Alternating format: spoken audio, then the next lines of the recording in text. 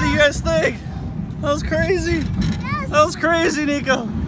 That was crazy.